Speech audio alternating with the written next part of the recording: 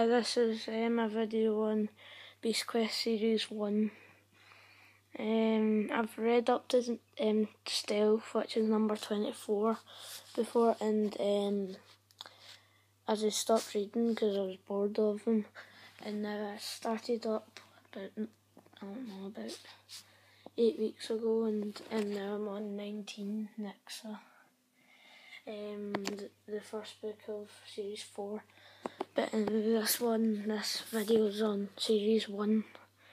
Right, first of all, I've got um, the book with oh the first three in it. It's called The Quest Begins.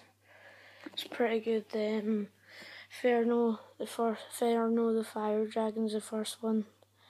Um, yeah, I'd recommend it because it's it's not great, but I'd say you need to read it just so you know, like, know what, how the quest began, sort of thing.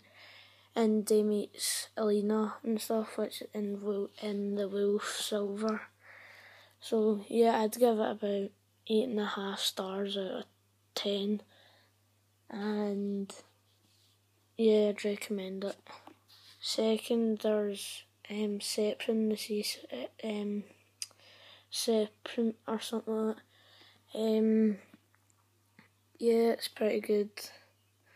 Not as good as Ferno, but I used to really like it. I thought I used to think it was funny, but not, not really anymore. But I still like it because, like, how Sepron, when he frees him, that it helps Tom with other beasts and that. So yeah, I'd give it about four. No, but a four. Um, uh, seven out of ten. Third, there's Arcta, the mountain giant. Um, um, it's alright. Everyone goes on about how it's so good, but it's not amazing. Um, I'd give it about a six out of ten. Yeah. Yeah, so and that's the first three quest begins and then now on to Tagus, the horseman. Um, it's a pretty important book. It's not amazing, but it's need to read it. There's a pretty like quite a lot of important stuff in it in the it. So yeah, I'd recommend it, and I'd give it about a seven and a half. Um, yeah, that's the fourth one. And it's Nanook, the the snow monster. Pretty good. Um, not great, but yeah. Anyway, there's not much to say about it. um, but I'd give it a six out of ten, and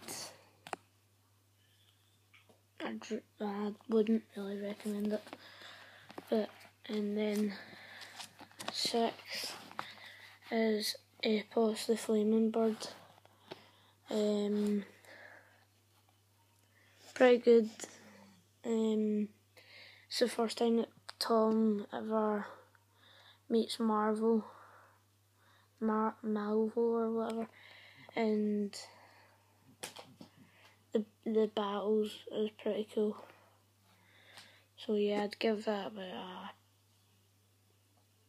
eight and a half out of ten. I've also got the bumper edition for series one, Vedra and Cremon, Cremon, um, the Twin Beasts of Avantia.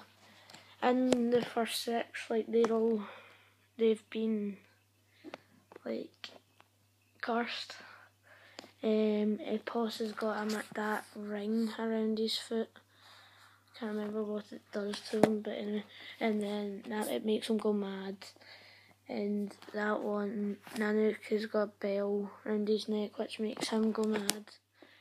Um, Tagus has got a a horseshoe or something that's really sore, which makes him like go mental.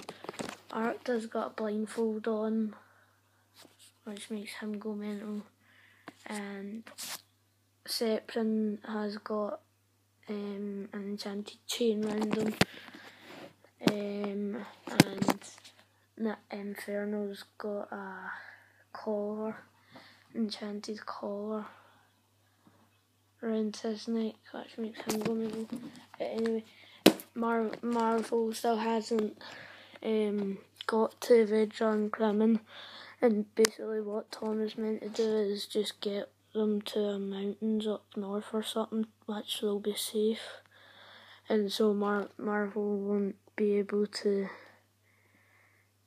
capture them and, and curse them. And I'd, that's my this is my be- my favourite book because all of the six good beasts of Avantia are in it helping Tom, which is cool. So, and yeah, it's just well good. Yeah, so that's that for. I'd I'd give that a ten out of ten. That's that for the whole for series one, and um overall, I'd give it a um, seven and a half out of ten. Yeah. So yeah, thanks for watching. Hope you enjoyed.